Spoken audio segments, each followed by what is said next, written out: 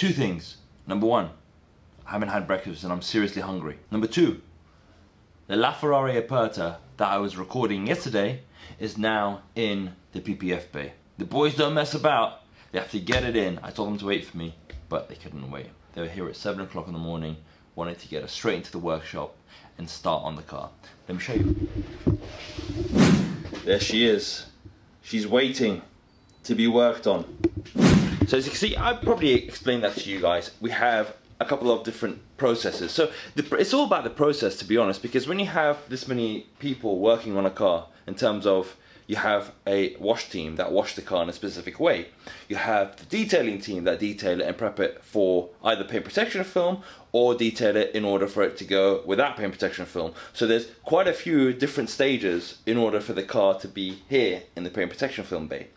It is now in the paint protection film bay, which means it's been washed, it's been detailed, and now it's ready for film to be put on. Another thing that I forgot to mention is that the previous vlogs have been really shaky and I'm really sorry about that. I'm trying to get my arm to be a bit stiffer. That sounded really wrong. So Mazen just got his car back, his Turbo S. He hasn't had the car for five days now. It's been at Porsche to get the two front discs replaced because under warranty of something or other, he'll explain to you exactly what it is. Remember the bit I said I was hungry? We're gonna go get some food now. But more importantly, we're gonna go in the Turbo S.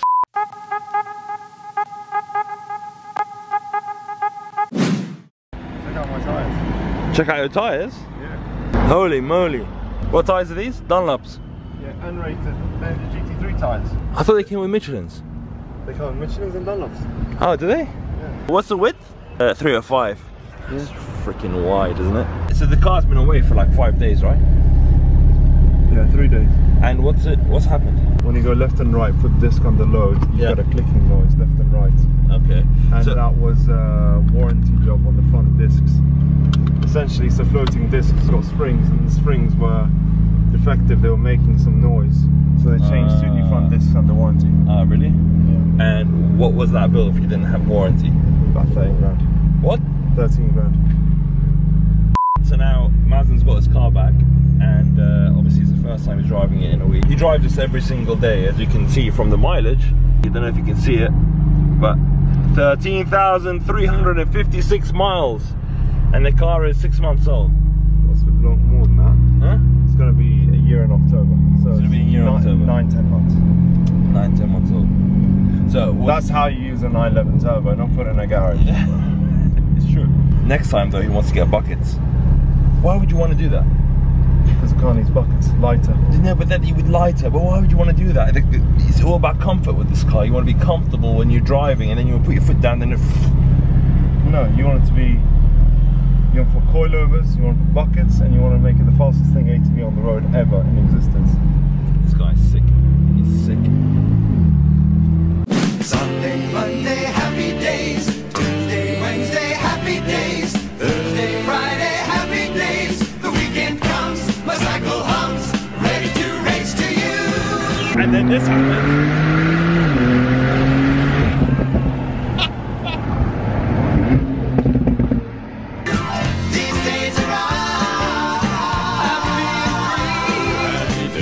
So obviously now we've got new tires on there. What difference can you? So you're telling me you can take, you feel a difference straight away, even just with the movement. The tread pattern is different. The standard P0s are a good tyre, but they're like a normal road tyre. These are more a softer compound, more of a semi-slick. But even the directional change is different in the car. Oh really? Even even even off centre, it feels completely different. So basically what you're saying is that it gives you more accurate input. So, so, so when you're when you're turning slightly to the left, slightly to the right, you feel different straight away, even with the front tires. Yeah. At the speed as Yeah, well. yeah, yeah. You feel the difference amazing, straight away. The directness of the car. Amazing.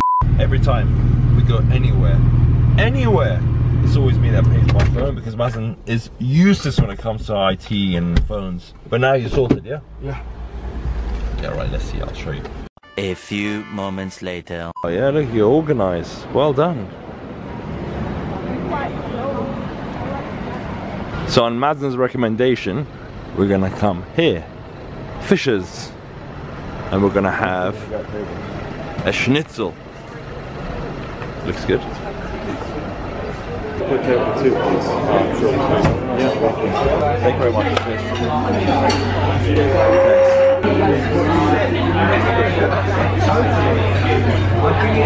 Malcolm decided to have two main courses because obviously one isn't enough. Oh my god. I don't think I can walk after that. I'm like waddling down the street, man. Look at him. He even took a doggy bag. Huh? Can you believe it? Go to a fancy place like that and you get a doggy bag. Explain this. Because of all the bloody food that we ordered. I call shotgun. I'm driving now.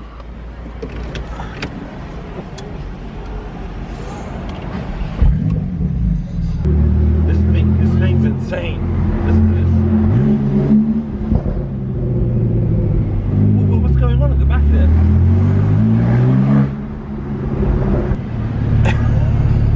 it's insane. It's mad. Madness.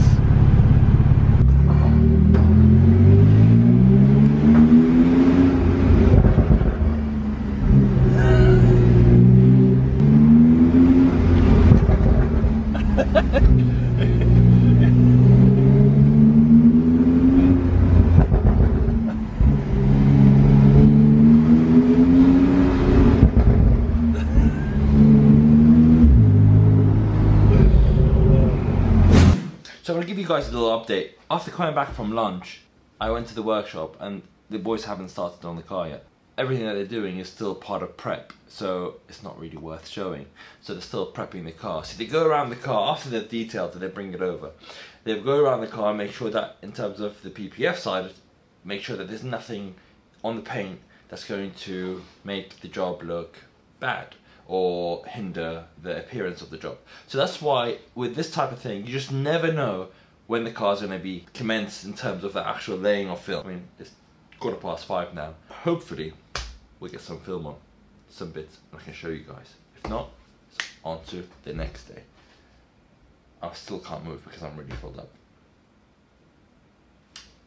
You know, so I thought whilst the guys are doing their bit on the car, on the LaFerrari, I thought I'd show you the differences on this car to a coupe, to a non-Aperta. Even people at the dealers, at the dealership, didn't know what parts of the car were actually different. So apart from the visible parts that you can actually obviously see. To give you an example, the bonnet on the car, so you can see right here, the bonnet right here is actually slightly longer than the normal one on the non-Aperta version, so on the coupe. Also where the actual roof comes off, you're able to put it inside this section here. Um, so these are all small tweaks that you wouldn't really notice, but because we, we have a template of the coupe that we're trying to put onto the first Aperta that we did, we can straight away tell there was a gap by about two inches, so we knew that there was some difference there. Obviously, another another point to mention is, which is quite obvious, is the bit here. That section obviously is different, so to the LaFerrari Coupe, but if we go over to the coupe version, as you can see on the coupe, this is what's different over here. As you can see this section here is very different, and the front is actually a little bit shorter. Then you also have, which is an obvious part, is a section here at the top, which is very, very different from the Aperta and the normal one. So as you can see here on the front, this is the coupe version.